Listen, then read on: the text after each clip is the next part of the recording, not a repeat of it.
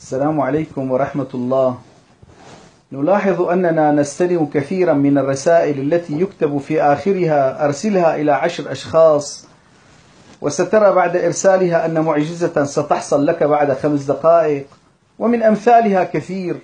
هل فكرنا في منشأ هذه البيانات؟ من أين وإلى أين؟ وما الهدف من إرسالها؟ ومن أي بلد بدأت؟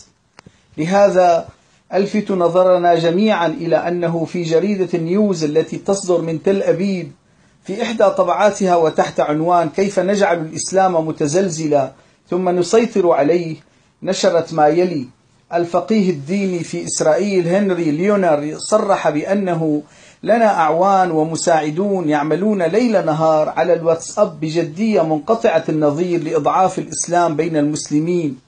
ويضيف نحن نكتب بيانات بكل اللغات العربية والتركية والهندية والفارسية وكل لغة يتكلم بها المسلمون في جميع أنحاء العالم. وفي هذه الرسائل آيات قرآنية صحيحة وأحاديث نبوية صحيحة وأقوال لأئمة المسلمين صحيحة لكننا نكتب في آخر الرسالة أرسلها لعشر أشخاص ونقول لهم إذا أرسلت هذه الرسالة لهذا العدد فستحدث لك معجزة وسترى اليوم معجزة أو بعد كذا دقيقة.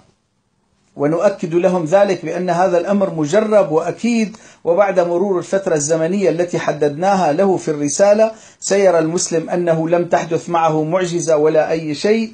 وسيعتبر ما قرأه عن الله سبحانه وتعالى وعن الرسول صلى الله عليه وسلم وعن الآئمة رضي الله عنهم مجرد خرافة ولا يأتي منهم إلا الخداع ولا ينتظر منهم إلا السراب. وهكذا بمرور الزمن وتكرار هذه الرسائل منا لهم سيضعف إيمانهم بالدين وبهذا نهزمهم في دينهم ونزلزل عقيدتهم لأن دينهم لا يقدم لهم إلا السراب والخداع وبذلك نستطيع أن نسيطر عليهم.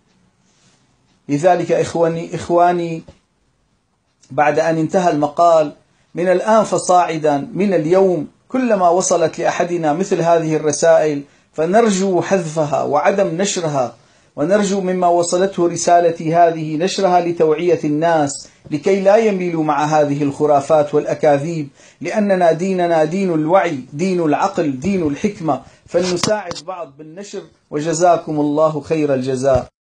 السلام عليكم ورحمة الله. نلاحظ أننا نستلم كثيرا من الرسائل التي يكتب في آخرها أرسلها إلى عشر أشخاص.